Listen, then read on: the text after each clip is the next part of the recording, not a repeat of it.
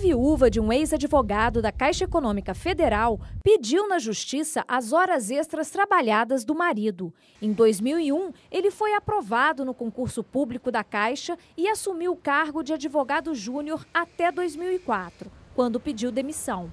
Nesse período, trabalhou oito horas por dia, com jornada de 40 horas semanais, sujeito ao regime de dedicação exclusiva.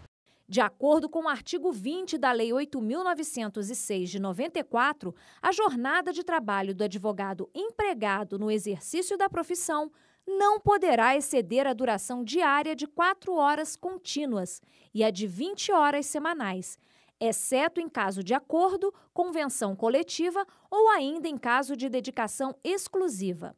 Mesmo ciente de que, conforme o contrato, o ex-advogado estaria sujeito ao regime de dedicação exclusiva, a viúva alegou na justiça que o caso do marido é uma exceção à regra e, por isso, a questão deveria ser enquadrada no artigo 224 da CLT, que garante aos empregados de banco uma jornada especial de seis horas de trabalho. E o que passar disso deve ser remunerado com adicional de 100%.